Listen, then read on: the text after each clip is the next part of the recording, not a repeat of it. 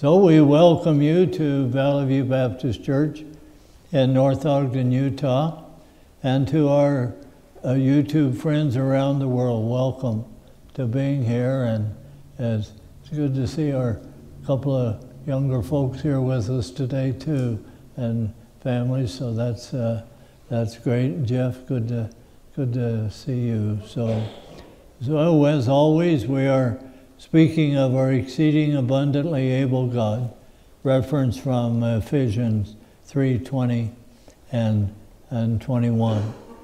And we must remember that faith defeats fear. Faith defeats stress. Faith defeats anxiety. Faith defeats discouragement. And faith defeats depression. Yes, God is still in the miracle business. Yes, God is still on his throne. Yes, God is still all knowing, all powerful, everywhere present at the same time. So, with that in mind, let's look to the Lord. Heavenly Father, as we come together to offer the message of what you've laid upon my heart, I pray that it go forth in the power of the Spirit be received in that same power. And may we just be drawn close to you, Lord, and you, you be honored and glorified.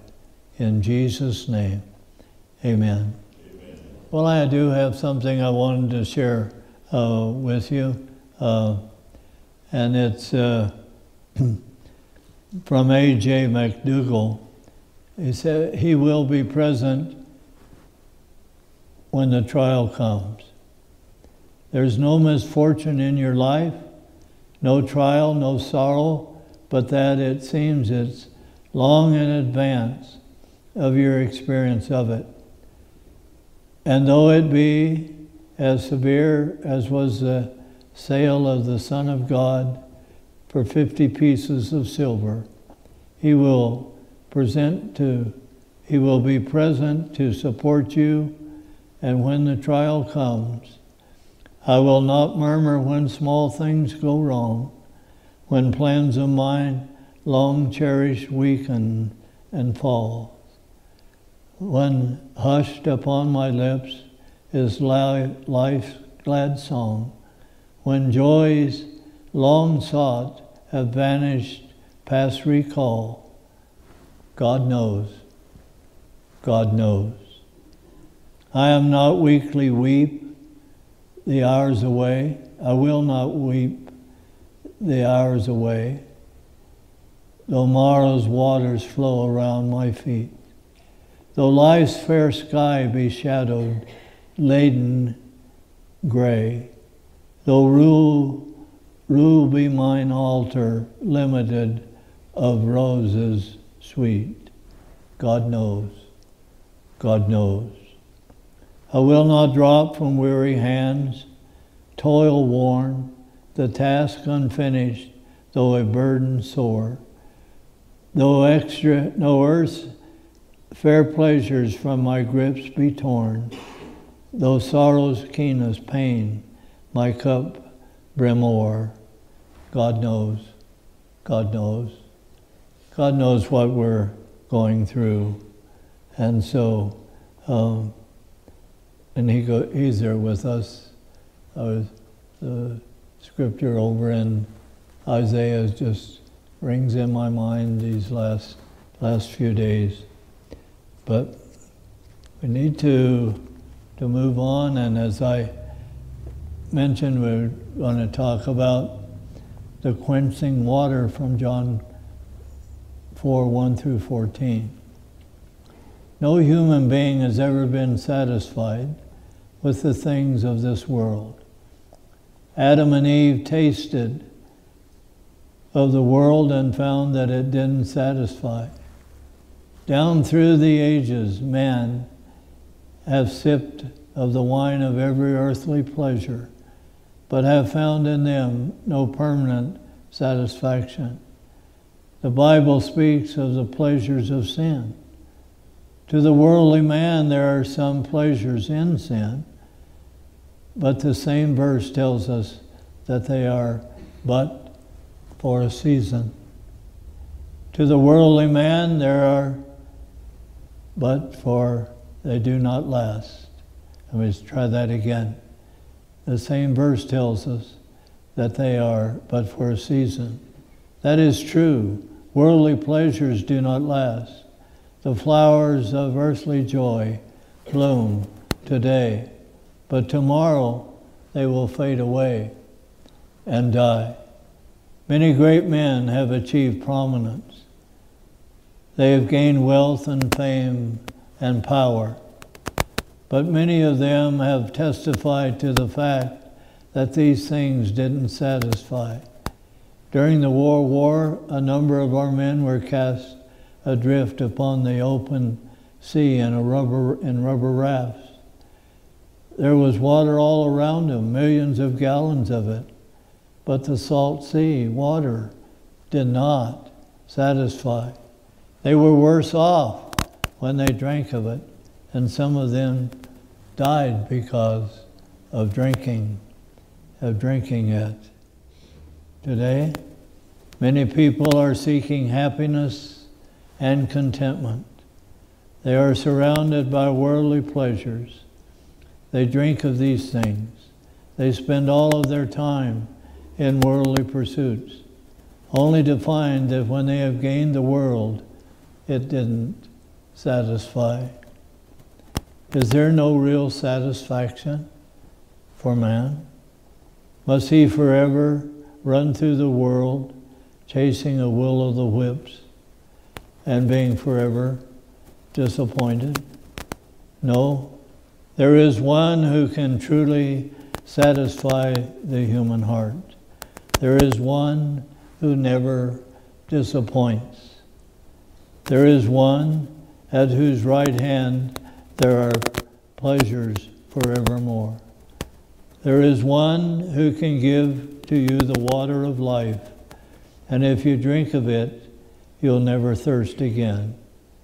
He bears the name of Jesus. Blessed, blessed Jesus, the Son of God, the Savior of men, the satisfier of human hearts. So I want to share with you this morning from the message or from the scriptures the water of life. And I've simply titled it The Quenching water. It's amazing what it quenches, and I'll try to share some of those thoughts uh, with you. Well, as the scene opens, folks, uh, uh, which Dave read a little earlier, we see Jesus leaving Judea and going to toward Galilee. We read that he must needs go through Samaria. Try to recall, try to recall the geographical positions of these three countries. Galilee was in the north, Judea was in the south, and Samaria was directly in between these two countries. That gives you kind of a bird's eye view of the area that we're that we're talking, talking about. so it was only natural to go through Samaria to get to Galilee, but the Jews never took that direct route. They crossed the Jordan to the east, then traveled northwest, then traveled back over the Jordan westward into Galilee. This meant that they had to go many miles out of their way. Why did they do that? Why did they do that? It was because of their pride and prejudice. They had no dealings with the Samaritans. They considered them as heathens and unclean. They didn't want to defile themselves by touching even their country. This reminds us of some of the race prejudice which prevails today. But Jesus Christ, who himself was a Jew, had no such prejudice. Amen. he stood out on his journey straight through Samaria. Why did he feel that he simply had to go through Samaria? In the first place, he was saying to the Jewish people, You Jews are filled with prejudice. I have no prejudice. I am not a respecter. I am not a respecter of persons. I love the Samaritans even as I love you. Yes, Jesus loves everyone. All people are alike to him. He permits no prejudice to come between himself and any soul on earth. Again, in going through Samaria, he didn't come to save just one nation or one group of people, but he came to die for all men and to bring salvation to every person.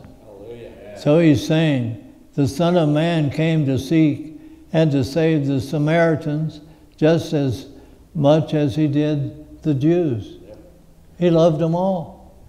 What, what's 316? What's the first phase? For God so loved the world. Okay? And so, oh, we have prejudice today. We need we need to get right with God in that area of responsibility. And so, uh, in line with this truth, I believe that from all eternity past, Jesus had an appointment in Samaria. God doesn't do things on hindsight and that. He, he plans millions of years ahead. Okay? It's all planned out mm-hmm. okay? We're not going to change his prophecies. We're not going to change his, his word. He's all filled out completely. And always he has the invitation, the invite for you to come to him. And so it's there, it's there uh, for us. So a sinful woman there needed to receive pardon and purity. A city there needed salvation. There are no accidents in Jesus' life. God planned his life down to the minutest detail. God planned for him to meet this sinful woman and to change her life, even though the woman knew nothing of this appointment. So the Gaither folks, they, they sing a song, We Have an On Time God. Yes, yes. And let me tell you, this is an on time experience and a story, true story in, in the Bible. Amen. Okay? Where two people, Jesus Christ as man, and this lady, they needed water. And think about it now. Jesus, as a Jew, he irritated the Jews when he went in over to Samaria. And then he said, Give me to drink. She says back, What are you asking me? You're a, you're a Jew and I'm a Samaritan. Well, how did he say? Drink of my water. Okay. Drink of my water, and you'll never thirst again. What did he take? Isn't that an awesome story of witnessing? Yes. Okay? Jesus didn't necessarily have to have the water, but he wanted to share the water of life with this Samaritan. Amen. And it made a difference in her life, and it made a difference as we get further into, into the book of John, the rest of that fourth, fourth chapter, it, it made a difference with her. Why? Yes. She became a witness for Jesus Christ. All from that long walk, or shorter walk, I should say, uh, through to uh, Samaria. So anyway, I thought that was, that was just interesting. There's so many uh, uh, things there. Okay. Aren't you glad that in the plans of Jesus, He came your way and brought salvation and hope, Yep. hope to you? Yeah, I remember His plan. I didn't know anything about it, but I wanted to join the Air Force. I joined the Air Force. I went to uh, Biloxi, Mississippi for uh, tech training, but before that I went to San Antonio for uh, for basic training, and then after these I was shipped to Okinawa. I didn't realize that Jesus Christ was the captain of the ship. so we went on to Okinawa, and we were assigned different barracks and different different things.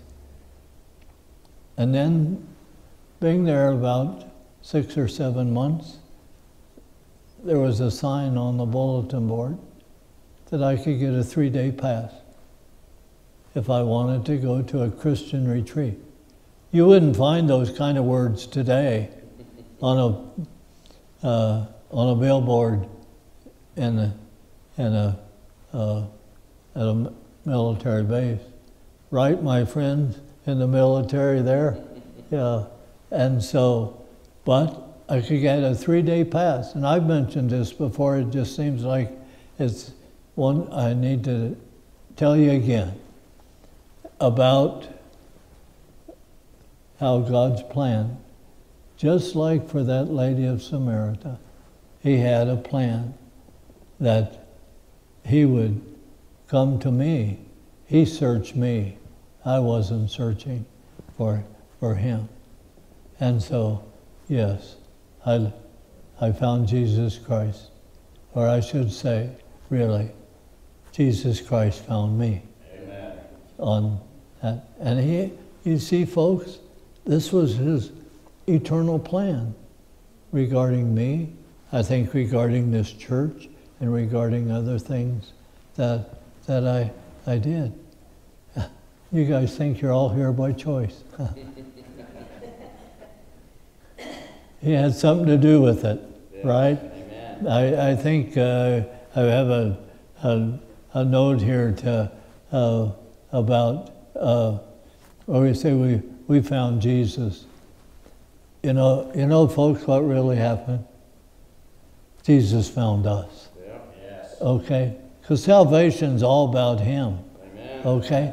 How can, how can it be about me when I didn't even know His plan to even go to Okinawa? I didn't even know how to spell it when I was assigned to it, okay?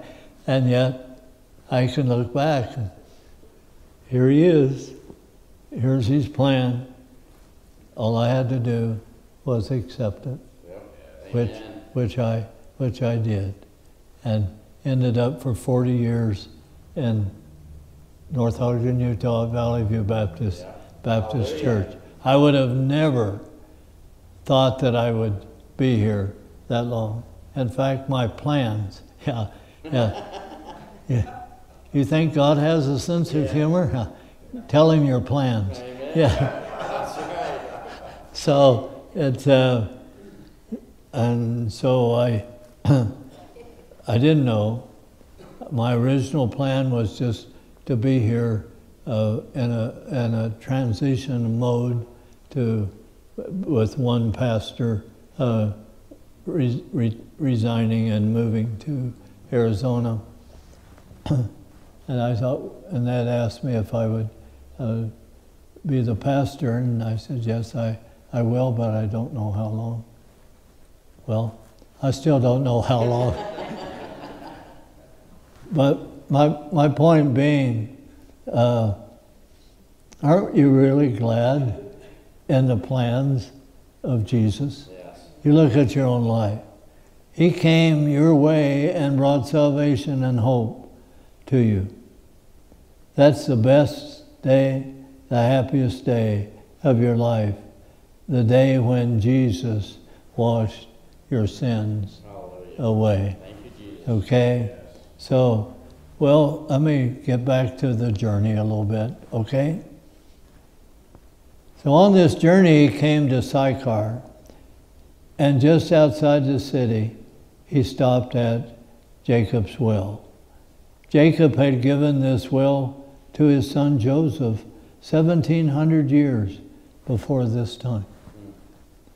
Down through the centuries, this well had slacked the first of thousands with its water. Even as now, you can see that the Jews stamped the mark of their own civilization wherever they went. We're told that Jesus sat down, being tired from his journey. This speaks to us of the humanity of Jesus. He was the Holy One from God, but he had a body like ours. Sometimes we don't realize that, what he went through the beatings, the thorns, finally, the death. Yes, he came to do that. He came to do that. He was the Holy One from God. He knew the same hunger, thirst, and weariness that we know. He could walk on the water, calm the storm with a word, give sight to the blind man and bring a dead man back to life, yet he, he became tired and hungry as he walked the dusty roads of Samaria. Doesn't that give us a picture of what he, what he did Yep. and where he went and now the result of it? This evidence of his humanity brings him very close to us. We know that he suffered as we do, and that he can help us in the time of need.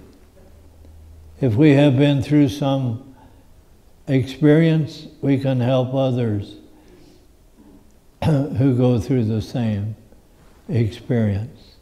Jesus lived as a man.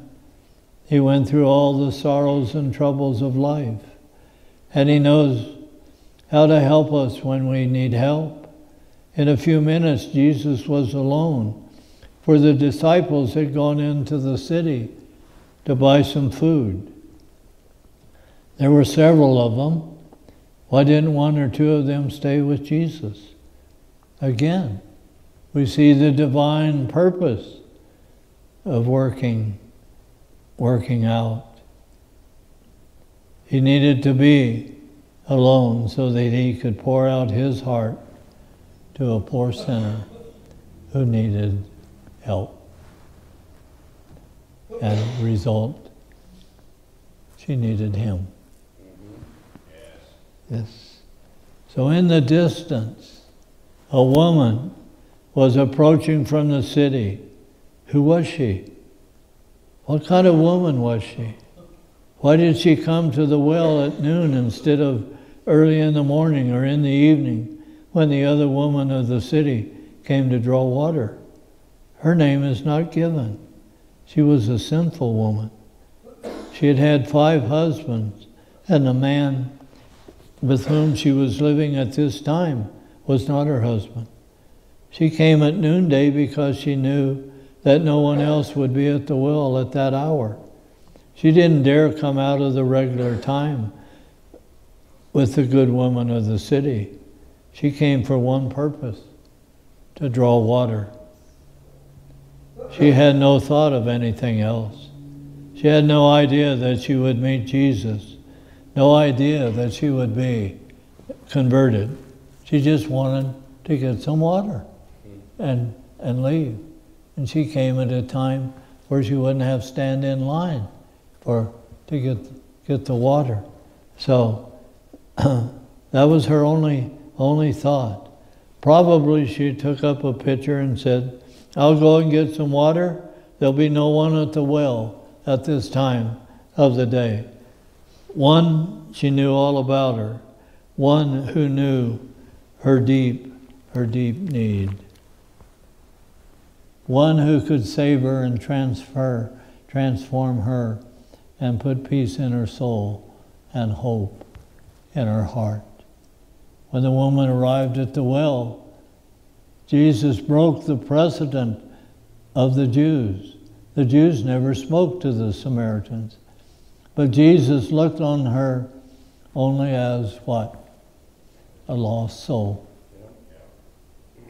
That was what Jesus saw. And that's what God's plan was to go for Jesus to cross the border, if you will, into Samaria to meet this. Can you see how far reaching this decision was of Jesus to walk into Samaria? Mm-hmm. It opened really the heart throbs of other Samaritans that found God through Jesus Christ and through that lady. That lady that had five wives, excuse me, had five husbands. Uh, yeah, and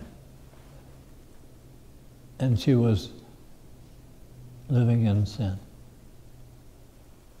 What happened? She met a loving Savior that knew more about her than she knew about herself. Because he, he mentioned, you know, re, about her to her and stunned her, I think, for, for a few moments. And then the conversation began about love, about love and, and con, concern. And so, well, uh, now, you know, the lady, it seems to me, kind of seemed a bit sarcastic.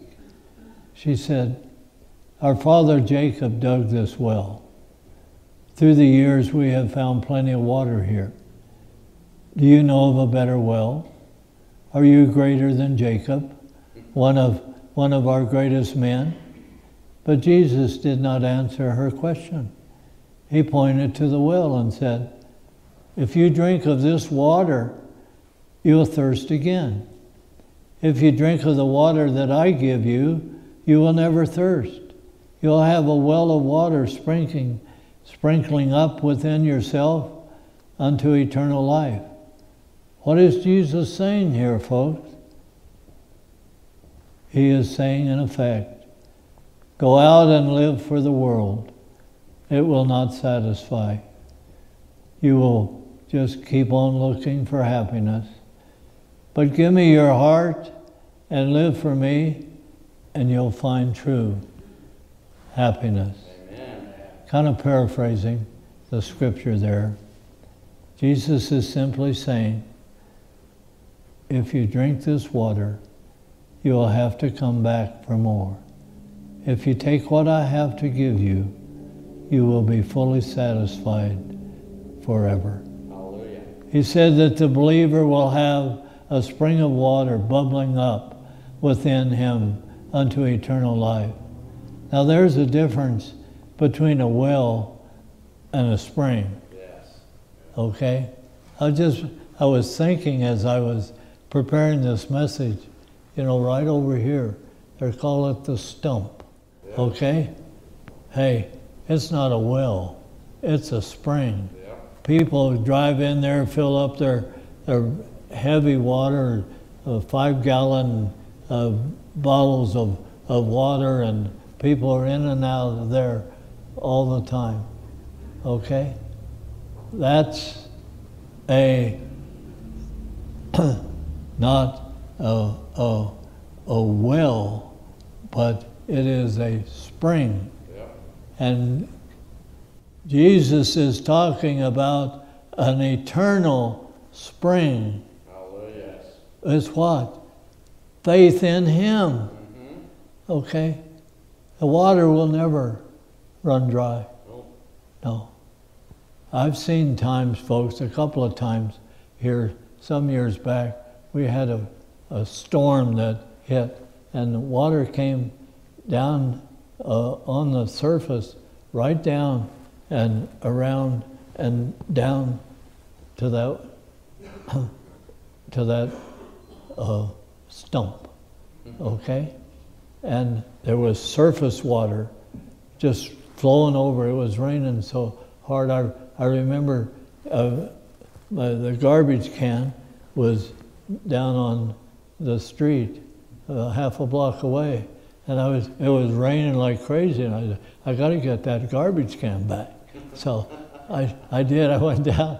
It was like it was like walking against the storm or against the wind because everything was going this way, and I was trying to get the, the garbage can uh, back, and and uh, I got a little I got a little scared. My goodness, it was thundering and lightning and uh, just roaring uh, water uh, down there, and I thought, you know, I can see this, but all underneath is what amazing grace. Amen. You know, so I, when I we finally got it done, I called I called my wife Leah and I said, "It's really been stormy. I I, I I'm just gonna uh, sit here and talk to the Lord for a little while because it was such a nasty nasty storm and it flooded things all the way down the the road to uh, 2600." It was it was amazing, uh, Thorn. But I, yeah, I remember going after that garbage can, and uh, it was pretty pretty amazing. So as I think about the spring as opposed to the well, the spring never dries. That's right. Our love for God can never dry. He won't let it. Okay? We can get distance from him, but he's still going to tag along. Mm-hmm. But we lose a lot of blessing if we do uh, other otherwise. So yes, Jesus, isn't he really saying here that if you take what he has to give, you will have an inner spring of Christian joy and peace and hope, a spring that never runs dry, a spring that is a source of blessing both to yourself and to, to others. Now, I'm going to get personal for a few minutes. Uh, and I just. Uh, when my daughter called me Friday morning and said that she she had this virus, and I, I got emotional. But just that earlier that day, I had read a devotion in Dr. David Jeremiah's book, the journey, just daily devotions. And I, I said, Ruthie, uh, in my devotion, just a, a little, little while before, before she called, and I said, I, it just touched me when you shared with me about what they've found in your, your life. And I said, would you, would you mind if I read it to you? And she said, oh no, Dad, please. So this is my devotion for that morning called Empty Cups. It's from Dr. David Jeremiah. And he quoted Jeremiah 2 13. For my people have committed two evils. They have forsaken me, the fountain of living water, and hewn themselves cisterns, broken cisterns that can hold no water. In his 17th century devotional classic, A Serious Call to a devout and holy life. William Law described a thirsty man who kept holding up one empty cup after another to his lips. No matter how beautiful the cups were, Law observed, and no matter how glittery and golden they seemed, the poor man only grew thirstier while lifting them to his mouth, for empty cups cannot quench the thirst. Many people today are seeking inner fulfillment and emotional peace by lifting one empty cup after another to their lips. But Jesus said, If anyone thirsts, let him come to me and drink. And out of his heart will flow rivers of living water. John 7 37 and 38 in part. Without the risen Christ in our homes and hearts, we're missing the kind of encouragement we need to keep going. He is the true source of encouragement. And as we partake of the living waters of His grace, we'll overflow with true encouragement into the lives of others. Put down your empty cup and drink richly of Christ. And then this, this statement by William Law Awaken your soul into a zealous desire of that solid happiness which is only to be found in, re, in recourse to God. Well, we were both crying when we got through that, but we got through that. We turned it all over to God. Amen. And so that's, I just wanted to fit that in. That's back here, and I go here and just for uh, a few more minutes. The rest of the story is the winning of a wicked woman.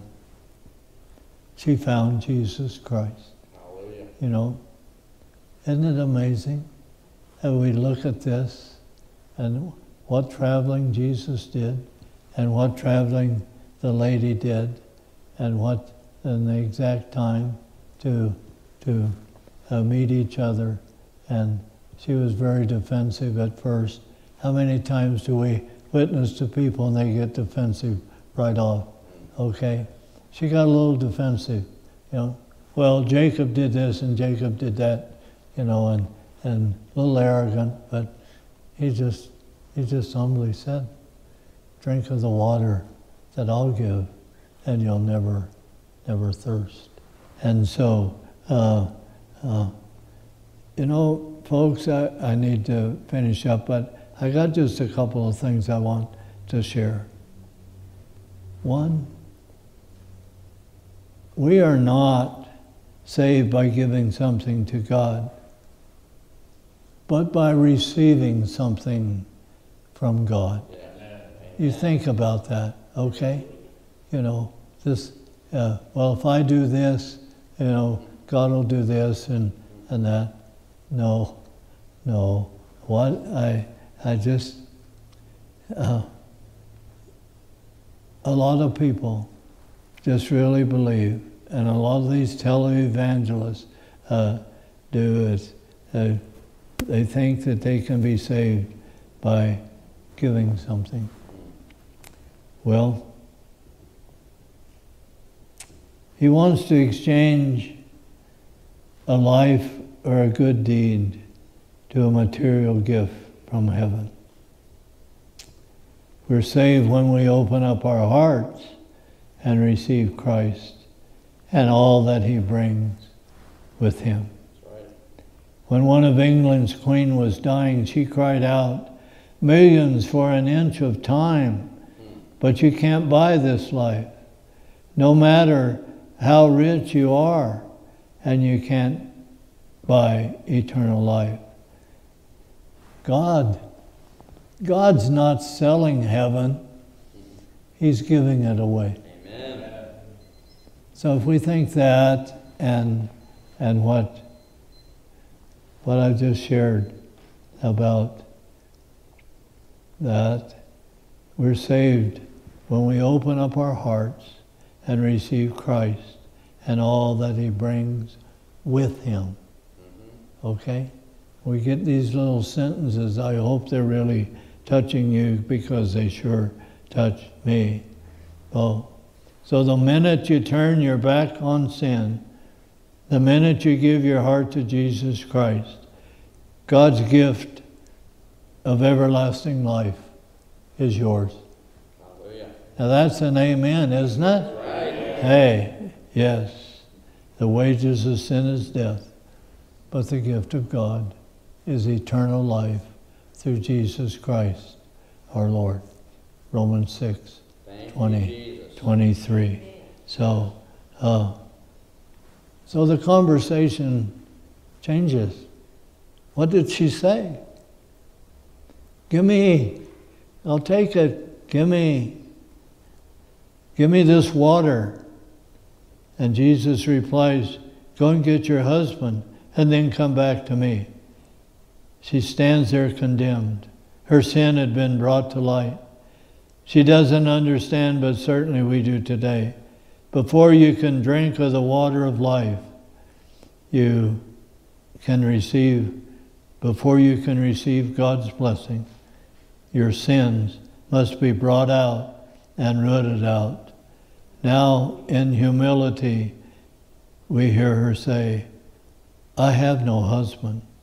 And Jesus said, I know that. You have had five husbands, and the one with whom you are now living is not your husband. Here we see the perfect knowledge of Jesus Christ. He knows everything about her, though he has never spoken to the woman before. He knows all about us, too. Don't try to hide anything from God. Hey, that doesn't work. It doesn't uh, work. Well, so anyway, I need to, to close, but I just would close with, with this statement. And it's a follow up the next day on, on my devotion the following day.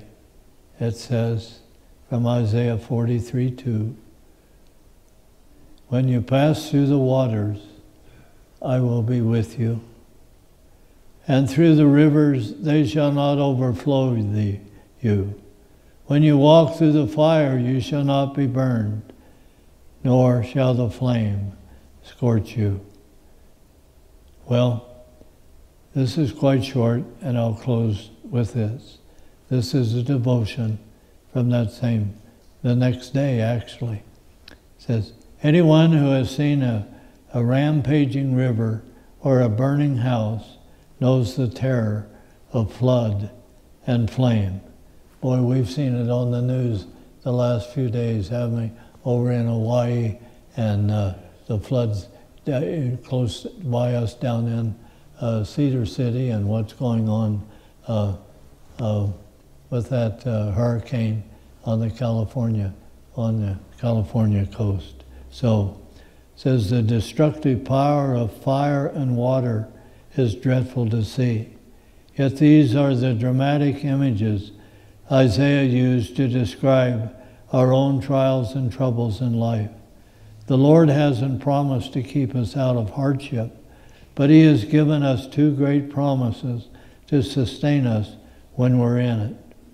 He will be with us, and our troubles will not overwhelm us. I will be with you, they shall not overflow you. Remember how the Lord brought the Israelites through the waters of the Red Sea in Exodus 14, and how he stood with Shadrach, Meshach, and Abednego in the fiery furnace of Daniel 3. If a problem is pressing down on you today, claim Isaiah 43 uh, 2, which is when you pass through the waters, uh, etc. Picture the Lord as though he were really beside you, for he is. Trust him. And keep you from being swept away or consumed by your circumstances, for he has promised that his grace is sufficient. And then a quote from John Keith When through fiery trials thy pathway shall lie, by grace all sufficient shall be thy supply. Amen. So, my friends, particularly out there in YouTube land, it's a simple process to change your life. It's a simple process to get on the road to heaven and eternity with Jesus. It's an easy road because it's all paved by the precious blood of the Lord Jesus Christ when he died on the cross. So, Scripture says that we're all sinners. Yes, we are. But we can be saved from that sin by just asking Jesus Christ to come in to our life, forgive us of our sins, and be let him be your Savior. So it's a simple prayer. You try it. Let us pray. Heavenly Father, we're grateful. I'm grateful, Lord, for the words from Dr. Jeremiah uh, regarding regarding life and the problems and the challenges. And thank you for the precious story of the sinful woman who became a Christian lady by listening to Jesus. And thank you, Jesus, for making that trip. And yes, it was a tiring trip. You're human. And so I just pray now for anyone that doesn't know Jesus Christ that's hearing this. You need Jesus. Just call upon him. He'll answer you. And so we're just grateful for all that you all that you are, Lord, and all that you mean to us. In Jesus' name. Amen. Amen.